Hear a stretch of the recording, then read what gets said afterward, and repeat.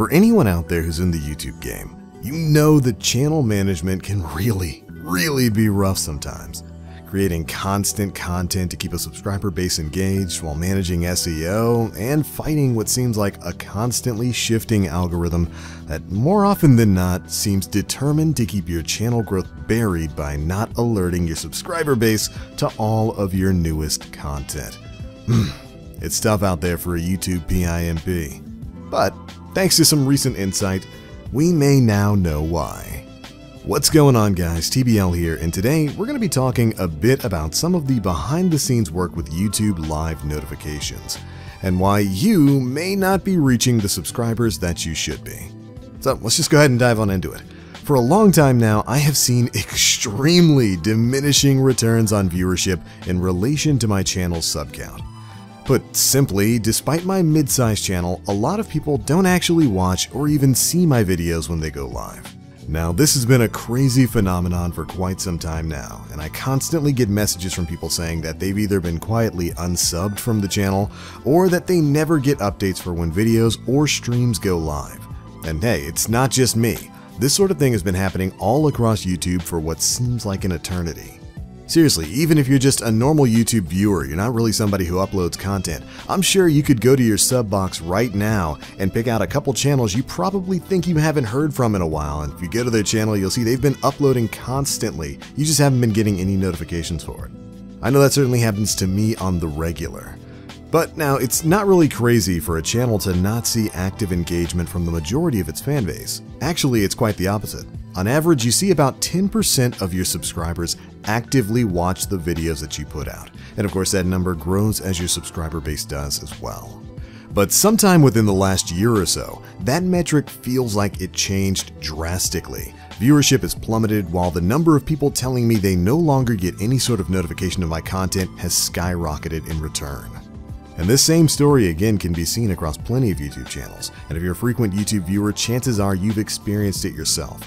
It just kind of seems like YouTube isn't notifying large portions of my channel's audience of any new content, which is something worrisome, but when I've brought it up with YouTube partner support, they've basically denied any such occurrence. Well then, Recently on YouTube's Creator Insider Vlog series, they had a few of the YouTube Live devs talking specifically about how they manage notifications for subscribers, and this is what they had to say. okay, so again, uh, we get questions all the time about how do live notifications work. Tell us the nitty gritty details here. Sure. So uh, when your fans subscribe to your channel, they see a little bell next to it, and if they hit that bell, or we, or we say ring the bell, uh, then they get a notification as soon as you go live, every time you go live. So definitely make sure to ask your, your viewers to ring that bell. Um, if they don't ring the bell and they're just subscribers, then we put them in a occasional notification state. So that means that they get algorithmically determined notifications. Mouthful there, but what it really just yeah, means. What does, that, what does that mean? Yeah, that, well, what that really just means is that your most active subscribers, so users who are watching your channel and your live streams, uh, are going to get notifications as soon as you go live. Uh, we also send notifications to, to users who aren't your subscribers, but they also watch your content very actively, and we think they'll be interested in, in watching your live stream, so we send them notifications as well. And then finally, uh, reminders are a key. So if you schedule your live stream in advance, uh, we, we show that to your viewers and they can set a reminder. If they set a reminder, they get notified to tune into your live stream before it even starts. And then we send them another notification as soon as it starts so that uh, to make sure that they can uh, see your live stream. Okay, so um, to summarize, because I get asked this all the time. Um, YouTube, do you notify all of my subscribers every single time I go live? We don't notify all of your subscribers, right? We notify all of your subscribers who have rung the bell, and then your most active subscribers after that. Okay, so we try to notify um, the people who we believe would be most likely to tune in and watch your content. That's right. While it's live. That's right. While not necessarily overwhelming and spamming um, all of your subscribers with these, these notifications. That's right. That makes sense to me. So, did you get all that? Essentially, it seems like the algorithm recommends notifications to people who hit that subscriber bell, and then the most active subs, those folks who get on YouTube all the time. They do not, and I repeat, do not notify the entirety of your subscriber base. So, if you're somebody who doesn't spend a lot of time on YouTube and you haven't hit a channel's notification bell, it's kind of a total crapshoot as to whether or not you'll be alerted to their latest content. The algorithm essentially seems to be picking and choosing who in your subscriber base gets notified of your videos based on what it thinks they'd be most interested in. So those people who get on YouTube every day come and specifically seek out your channel. Uh, those are the people who are going to be getting notified whenever you put videos up. For me, a good example would be 402 Thunder. I love that dude. He's my absolute favorite COD commentator, maybe my favorite game commentator of all time.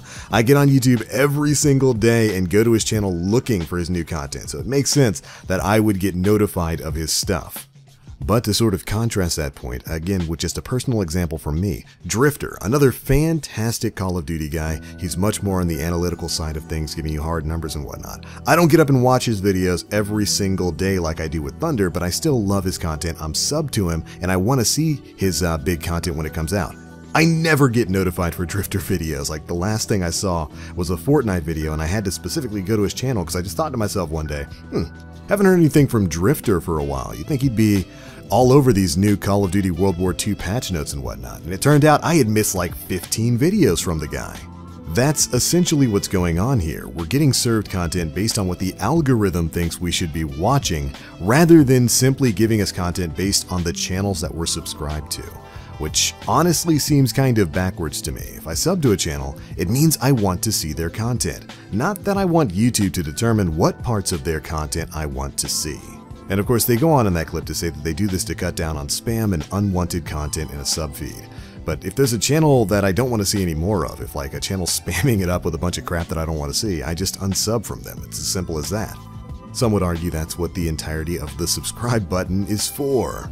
And this system they've got in place right now with this algorithm, I, I, think it's pretty easy to see that this can cause a lot of problems in, in relation to my channel. If you're someone who doesn't watch a lot of Destiny content or a lot of Call of Duty content or a lot of Monster Hunter World content, but you're sub to me because, I don't know, maybe you like my personality or something, you, you like seeing the stuff on my channel. But if you're not watching a lot of Destiny content, you might not get notified of my newest videos because my channel is very heavily, you know, related to Destiny and whatnot. And that's, you know, that, that's kind of a crappy overall system to have. Now, to be perfectly fair, the developers in this video were talking about notifications in relation to live content on the platform, so stuff like uh, YouTube gaming and whatnot. This discussion was in relation to live streams on YouTube. But truthfully, there's really no reason to believe that this system in place isn't also used for basic video uploads as well. And it would explain why there's such an astonishingly large difference between a channel's base subscriber count and their active per video viewership. It also explains why people who don't tune into YouTube often but have favored channels for when they do watch always generally tell me that they never get notified of when new content goes live and end up missing some of those videos and live streams entirely. Now, of course, this doesn't account for every discrepancy with YouTube right now. There's still certainly an ongoing mass sub purge going on with plenty of channels, especially gaming related ones being uh, affected by that. There's also the whole hidden restricted mode thing going on with YouTube, and of course, this doesn't mean that every video with low views on my channel is some insidious plot by YouTube, and not just people being disinterested in certain content like Destiny. There's certainly there's certainly a large group of people out there who no longer care about that game. But at the same time, it's clumsy algorithmic stuff like this that can really hinder the growth of a small channel, if not stop it entirely. I mean, personally, I was stuck at 33,000 subs for over 7 months despite constant uploads and viewer engagement because a large portion of my audience just wasn't being shown anything. And basically, stuff like this, where an algorithm on YouTube side is making the determination of who among your sub base is really interested in your content. I, I, I really don't think that's the best way to handle this sort of thing. Having this system to pick and choose who to notify if that truly is going on with base uploads like it is uh, seemingly with live notifications. But having this sort of system in place where an algorithm determines who gets to see your stuff, who gets notified, who it thinks is interested in your content, that, that, that seems to kind of nullify the entire point of a subscriber button. And I mean, sure, not everyone wants to see all of the content from every channel they're subscribed to. But in the end of the day, I think leaving that in the hands of the people who chose to subscribe in the first place, rather than an algorithm telling us what we want to see, is probably, I don't know, maybe a, a better option, but who knows? Maybe that's just me being crazy. But alright, Guardians, that is going to be it for this one. Thank you all so much for watching. If this is something you've noticed in your own experience with YouTube, you know, maybe a channel that you used to watch all the time that you're no longer being notified of when they post videos, be sure to let me know you guys' experience down in the comment section below. I'll leave a link to that video down in the comment section below if you want to go check out any of the other stuff they talk about. I'm very happy that they make these sorts of things so that we can learn a little bit of how YouTube works on the uh, the back end. If nothing else, it gives me something else to complain about. That's it for this one. Thank you all so much for watching. If you enjoyed, feel free to hit that like button and subscribe. Oh, and hit the notification bell if you know you actually want to hear from me. You know. Otherwise, you can leave it to the YouTube algorithm to determine whether or not you're actually interested in the content that you're looking at on YouTube. Aren't machines wonderful? But I'm out for now. As always, I am the Black Link. Guardians, stay frosty.